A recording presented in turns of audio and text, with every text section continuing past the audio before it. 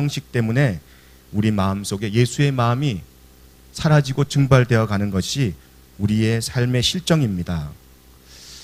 기독교 역사와 교회 역사를 되돌아보면 기독교인이라고 하는 그 사람들일수록 교회에 열심히 다녔던 열심을 가진 성도일수록 예수의 마음을 알아내는 일에 실패한 자들이 참 많습니다. 제도교회의 역사적 행적과 행태가 너무나 중요하지만 그 행적과 행태가 증언한 바에 따르면은 오히려 예수의 마음을 품고 살았던 사람들이 예수에 대한 신학과 또 교리뿐 아니라 전통의 근거에서 교권을 휘둘렸던 사람들에 의해서 많은 사람들이 추방이 되고 뿐 아니라 억압당하고 마녀로 사냥당하는 일들이 너무나 빈번하게 일어난 것이 우리 교회의 역사요 또 교회사입니다. 이와 같은 교회와 기독교 역사의 행태를 보시고 우리 주님께서 과연 뭐라고 하실까요? 왜 이렇게 내 마음을 몰라주니? 라고 하실지도 모르겠습니다. 그분이 오셔서 우리에게 친히 보여주신 참 가치 있는 삶과 또 유익한 죽음이 무엇인가를 우리는 우리 자신에게 정확하게 물어야 할 줄로 믿습니다. 왜냐하면 크리스찬은 예수님의 마음을 올바르게 알고 예수님의 마음을 안 그 뜻에 따라서 우리도 그와 같이 살아야겠다는 끊임없는 반복적인 다짐이 필요하기 때문입니다. 그렇다면 오늘 우리 본문에서 예수의 마음이 무엇을 뜻하는지를 우리는 집중하여 보아야 합니다. 오늘 본문은 유명한 기독론의 구절이고 또 예수가 그리스도 대심의 본 뜻을 잘 나타내는 믿음의 신앙 고백이기도 합니다. 더 정확하게 말하자면 성도가 품어야 할 신앙적 고백이 오늘 본문의 내용입니다. 이 고백에서 저와 여러분이 예수의 마음이 얼마나 중요한지 그리고 예수의 마음이 무엇을 나타내고 있고 무엇이 예수의 마음인지를 세심하게 살펴보는 시간이 되기를 예수님의 이름으로 축복합니다. 오늘 본문 말씀 6절입니다. 이렇게 고백합니다. 시작. 그는 근본 하나님의 본체시나 하나님과 동등됨을 취할 것으로 여기지 아니하시고 그렇습니다. 무엇보다 예수의 마음은 낮춤입니다. 자기 스스로를 낮추는 것입니다. 원래 예수는 하나님의 형태를 지닌 바로 하나님이었습니다. 그 형태는 시간에 따라 쉽게 쉽게 바뀌는 그런 형태가 아니라 시간이 지나도 변화되지 않는 그런 하나님의 형태가 바로 예수입니다. 그것은 하나님의 본질을 담고 있는 본체이기 때문에 쉽게 바뀌지 않습니다. 예수는 자기 속에 신성을 본질로 지니고 계신 분입니다. 그런데 예수 마음은 이 신성에만 매여 있지 아니하시고 또 그 신성을 드러내거나 자랑하지 아니하시고 또 그 신성만을 광고하지 아니하시고 놀랍게도 그 반대에 그러한 일들을 행하십니다. 그의 마음은 하나님과 같은 본질을 지니고 있음에도 불구하고 결코 그가 하나님과 동일한 그리고 동등함을 주장하는 데 있지 아니하고 오히려 하나님과 결코 동등함을 내세우지 않았습니다. 바로 거기에 예수의 진정이 담겨 있습니다. 예수의 마음이 바로 거기에 있습니다. 바로 이 점이 하나님처럼 모든 것을 알고 싶은 충동 때문에 사탄의 유혹으로 말미암아 아담과 하와가 그 유혹에 빠져 선악과를 먹은, 먹은 것과 예수와는 전혀 다른 점입니다. 이 점이 신과 같은 절대 권력을 탐하는 모든 아담과 하와의 후손들, 곧 우리 인간과 예수가 결정적으로 다른 점입니다. 하나님이 되고 싶어 하는 인간. 그러나 예수는, 예수는 인간이 되고 싶어 하는 바로 하나님의 엄청난 차이가 있다는 사실을 우리는 본문 말씀을 통하여서 깨달을 수 있습니다. 인간은 하나님이 되고 싶어 하는 그러한 욕망과 욕심에 사로잡혀 있습니다. 내 예수의 마음은 철저하게 인간이 되고 싶어 하는 그러한 자기 낮춤. 그 마음이 바로 예수의 마음입니다. 하나님의 마음으로 우리에게 군림하지 아니하시고 또 하나님의 마음으로 독재하지 아니하시고 철저하게 인간이 되어 낮아지는 모습. 그것이 바로 예수의 마음입니다. 반대로 인간은 어떻습니까? 하나님이 되고 싶어 합니다. 신이 되고 싶어 합니다. 신이 되고 싶어 하는 인간은 한마디로 엄청난 고통을 다른 인간들에게 계속 선사합니다. 독재와 독선. 그렇게 다른 인간들에게 절망과 고통과 죽음을 안겨다 주며, 주었던 사람들이 바로 캄보디아의 폴포츠나 또한 히틀러 같은 그러한 인간들입니다. 그런데 인간이 되고자 하는 신은 자신을 낮추고 겸손하게 이 땅에 존재하게 되었습니다. 얼마나 겸손하셨냐면 사람들에게 거절당하고 또한 처절하게 짐승이 태어난 곳에 태어나셨습니다. 뿐 아니라 낮고 천한 사람들의 발을 손수 씻겨주며 이렇게 행하라고 하십니다. 실제로 예수께서 제자들의 발을 친히 씻겨주시면서 사람의 낮아짐이 얼마나 낮아져야 하는지 우리에게 본을 보이셨습니다. 예수의 신성은 바로 여기에 있습니다. 하나님의 본질과 본체에 있지 아니하고 참 인간의 모습을 가지고 있는 것이 바로 예수의 신성입니다. 발바닥 같은 천민 계급을 결코 차별하거나 홀대하지 아니하시고 계급 제도를 정당화시키는 그 어떤 종교의 신과는 달리 예수는 그 천민의 발을 씻겨 주시고 그들에게 새로운 존재에 눈뜨게 하시고 또 희망과 용기를 불어넣어 주시는 마음을 지니신 지극히 인간적인 마음. 그 마음이 바로 예수의 마음입니다. 그것이 바로 예수의 마음이며 자기 낮춤의 마음인 줄로 믿습니다. 그런데 우리 기독교인들은 낮고 천한 곳으로 내려오셔서 그 자기를 낮추고 예수의 모든 행적과 예수의 모든 정신을 오히려 이해하지 못하고 예수를 저 높은 곳에 예수를 저 거룩하고 거룩한 곳에 쫓아 올려 보내드립니다. 그리고 거기에 있는 예수를 자꾸만 찾으려고 합니다.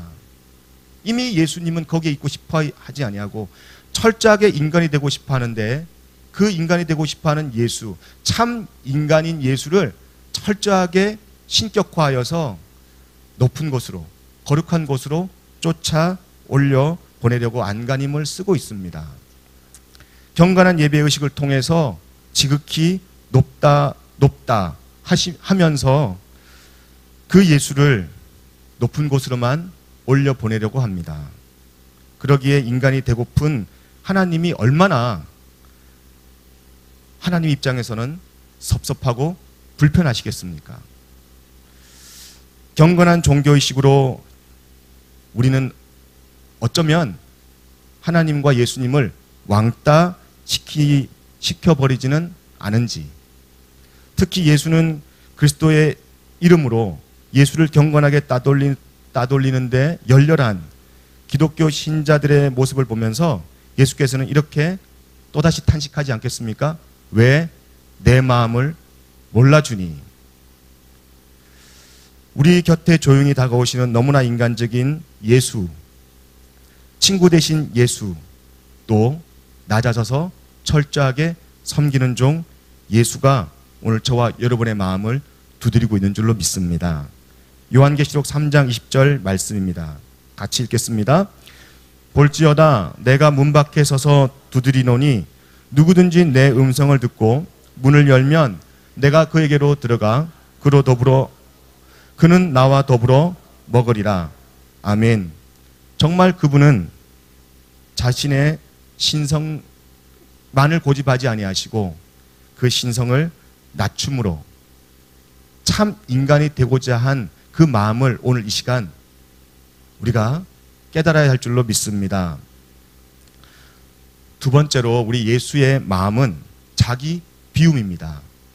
첫 번째는 자기 낮아짐, 자기 낮춤. 오늘 두 번째로 우리가 예수의 마음을 알아야 할 텐데 예수의 마음은 자기 비움입니다. 본문 7절 말씀입니다. 같이 읽겠습니다.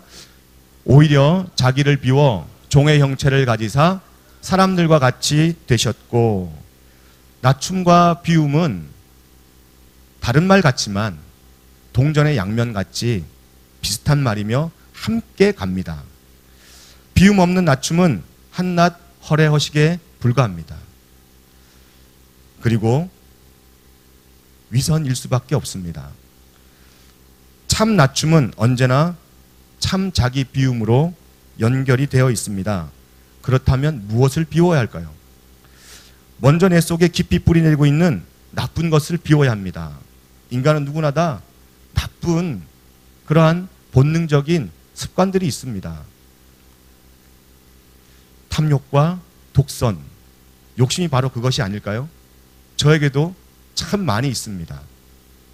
모든 인간은 존재론적으로 이 결함을 지니고 있다고 성경은 이야기합니다. 그렇다고 해서 그것이 우리가 영원히 벗어나지 못할 우리의 손과 발을 옥조에는 족쇄는 아닙니다. 마태복음 4장에 보면 예수께서도 공적인 삶을 시작하기 전에 광야에서 이 탐욕과 독선의 그 본능적인 인간이 받아야 할 시험을 몸소 겪으셨습니다. 끝없는 물질적인 욕구뿐 아니라 막강한 지배 욕심, 불사의 종교적 탐욕으로 시달렸고 시험 당하였다고 기록되어 있습니다.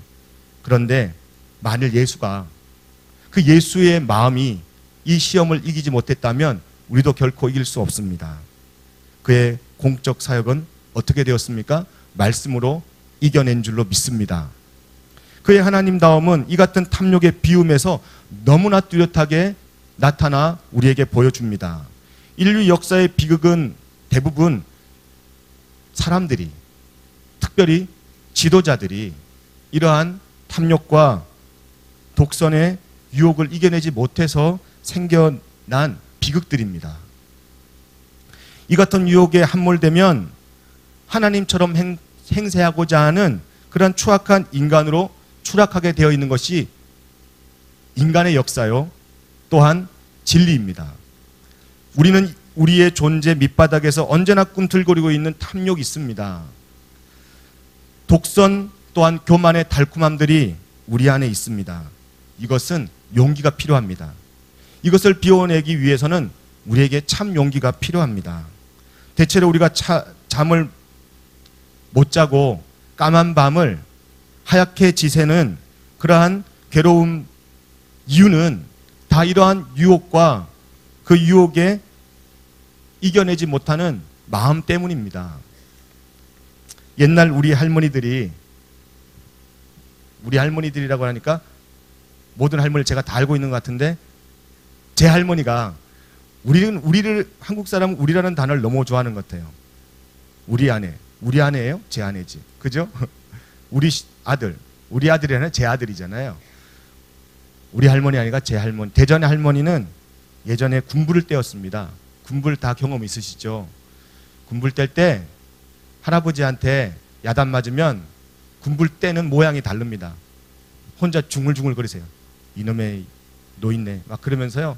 할, 할범 이러면서 막 한, 제가 그때 기억나는 단어들이 몇 개 있는데 지금 여기에서는 차마 특히 예수의 마음을 전하고 있는 이, 시, 이 시간에는 담기가 힘들고 어, 굉장히 그, 그러면서 제가 느끼기에는 지금 이 말씀을 준비하면서 그 할머니의 모습이 떠올랐습니다. 군부를 뗄 때. 잊어버리는 거예요.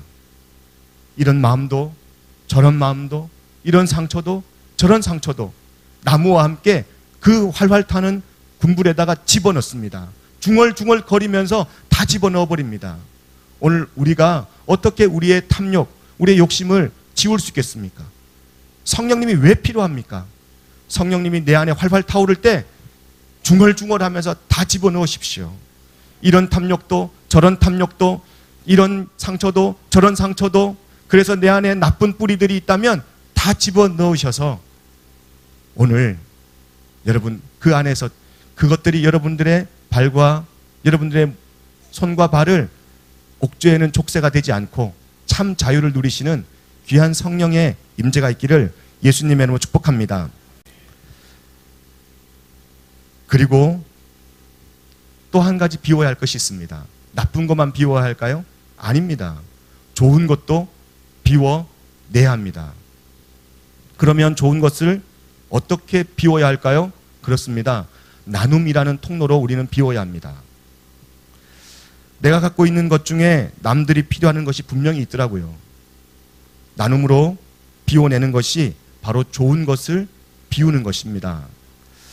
그래서 비움과 나눔은 선순환을 항상 우리에게 허락합니다. 이런 공식이 생깁니다. 네 번째 한번 띄워주실까요? 비움은 나눔으로, 나눔은 나와 타인을 채움으로, 그리고 채워진 그 나눔 때문에 감동의 파장이 생깁니다. 그 감동의 파장은 서로 채움이라는 선순환의 공식이 생기는 것입니다. 비움과 나눔이 남을 채워주면 반드시 감동의 파장이 일어나면서 체험을 받는 사람이 그것을 또 다른 사람에게 또 다른 타인에게 나눔이라는 그러한 귀한 길로 대갚거나 또한 그렇게 섬겨갈 것입니다. 결국 비움, 나눔, 체험과 감동 파장 그로 인하여서 우리는 서로 채워, 채워지는 예수의 마음의 아름다운 관계가 형성, 형성될 줄로 믿습니다. 이것이 바로 예수의 본심인 사랑입니다. 이 모든 것들은 예수의 마음, 사랑의 힘이 아니면 이러한 관계가 형성될 수가 없습니다. 그렇게 살아가는 사람, 그러한 거룩한 운동, 그러한 마음 가지고 살아가는 운동을 우리는 예수 운동이라고 이야기합니다. 낮춤과 나눔은 감동을 불러일으켜 체험과 서로 체험으로 나아가게 하는 이 예수 운동. 이 예수 운동이 저와 여러분의 삶 속에 끊임없이 해야 할 운동인 줄로 믿습니다. 하늘의 미랄이 땅에 떨어져 죽어 무슨 열매를 맺겠습니까? 바로 이 예수의 마음의 열매, 그 열매가 우리 안에 있어야 할 줄로 믿습니다. 그 열매는 반드시 비움과 스스로 부정하는 것입니다. 자기를 부정할 때 그런 열매가 맺어진다고 성경은 우리에게 분명히 제시하고 있습니다. 이것이 우리 성도가 품어야 할 예수의 마음이며 또한 기독교가 이야기하고 있는 가장 핵심적인 생명력인 줄로 믿습니다. 저와 여러분이 이 시간 이 마음을 품기를 간절히 축복합니다. 마지막으로 예수의 마음을 품는다는 것은 예수의 마음을 품는 것만큼이나 또 다른 중요한 의미가 담겨 있습니다. 그것은 끝까지 변치 말아야 한다는 것입니다. 오늘 본문 말씀 8절입니다. 같이 읽겠습니다. 시작.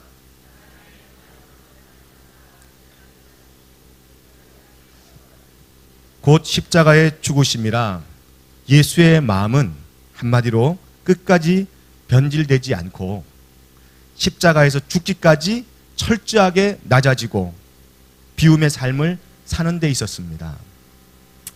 이 마음은 한 번, 두 번 결단한다고 해서 되는 게 아니더라고요.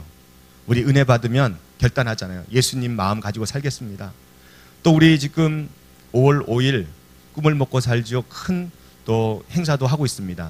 이런 단일적인 행사 한 번, 그리고 이벤트나 간헐적인 은혜 한 번 받았다고 해서 예수의 마음을 우리가 끝까지 지니고 살 수 있다. 그렇게 될 수 없다는 거예요.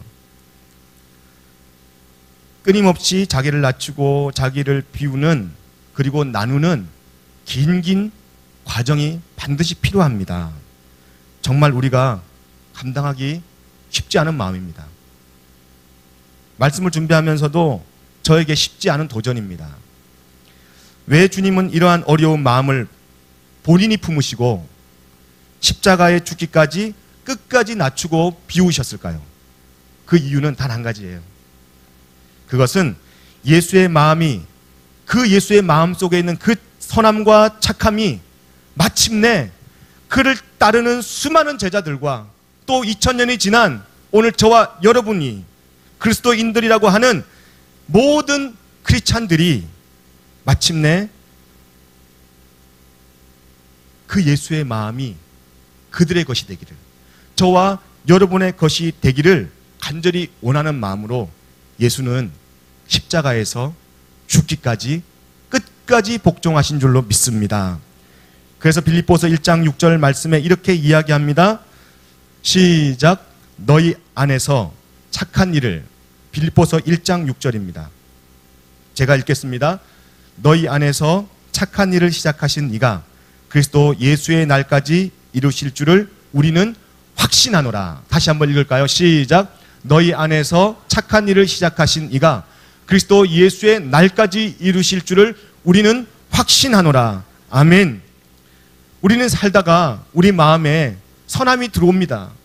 우리의 선함이 우리 마음 속에서 점점 나타납니다. 그런데 살다 보면 우리 선함이 세상에 그 유혹과 세상에 그 많은 악함과의 부딪힘이 생깁니다.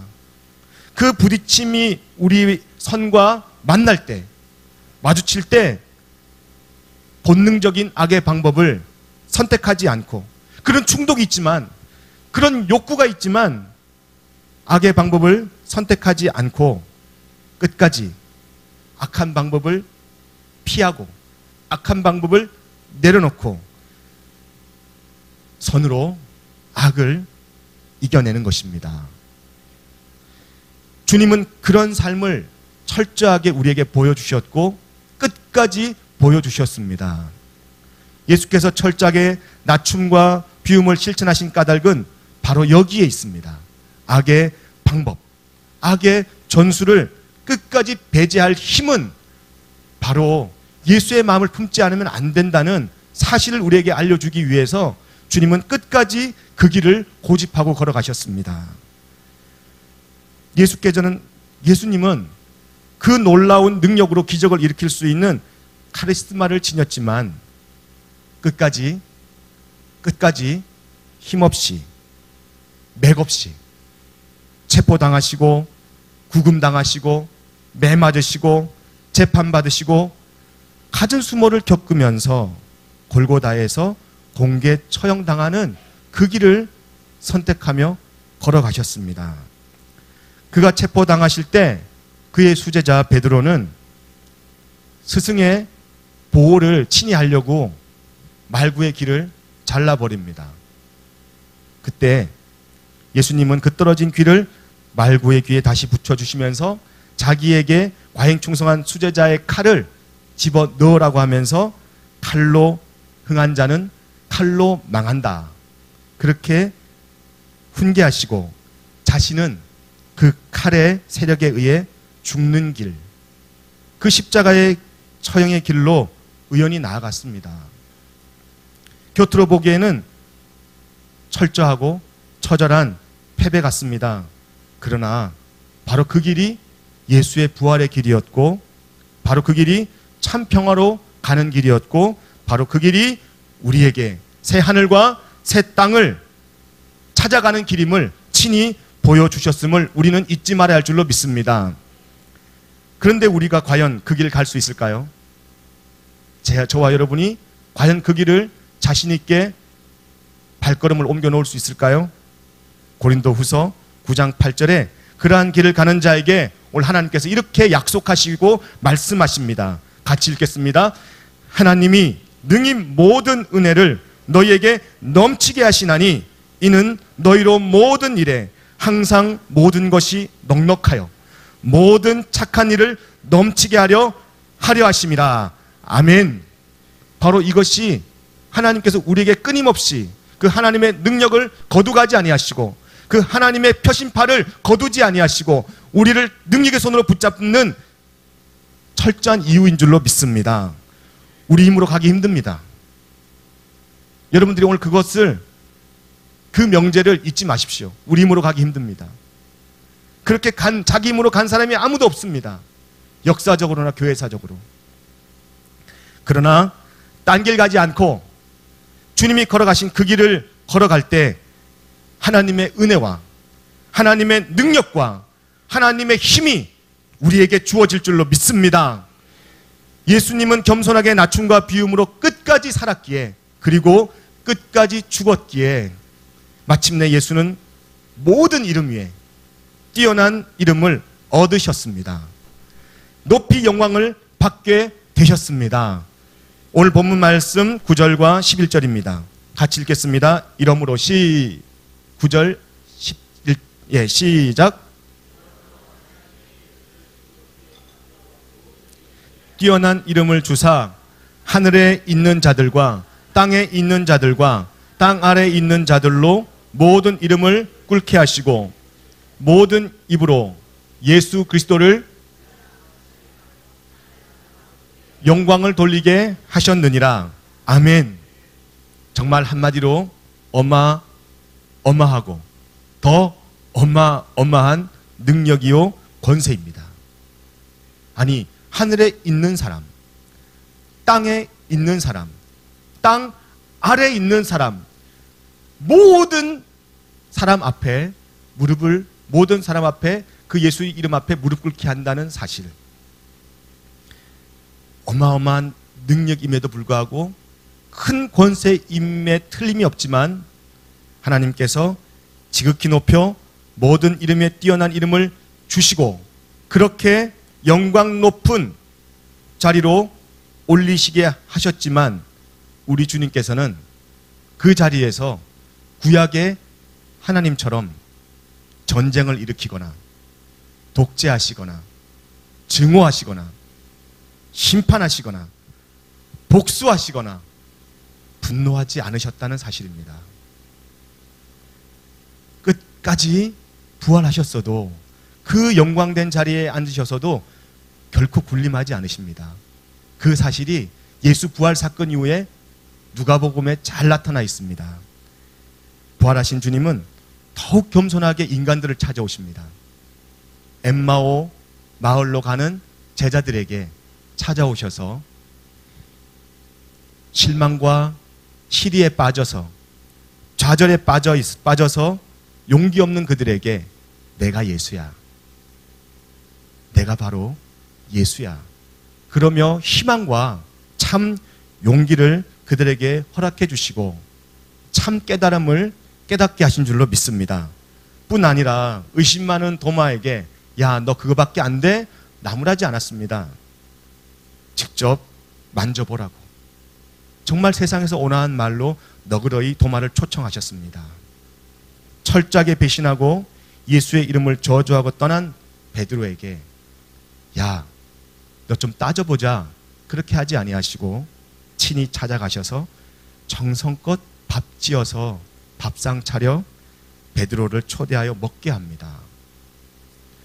부활하신 예수님에게는 하늘에 있는 자들과 땅에 있는 자들과 땅 아래에 있는 그 어떤 자라도 그 앞에 모든 무릎을 꿇는 어마어마한 능력과 권세를 지니고 높이 오르셨으나 예수님은 결코 저 높은 곳에 그 높디 높은 곳에 머물지 않으시고 지금 이 순간도 저와 여러분에게 다정하게 찾아오셔서 완고하게 닫혀 있는 저와 여러분의 마음의 문을 조금 전에 읽었던 요한계시록 3장 20절 말씀처럼 두드리십니다.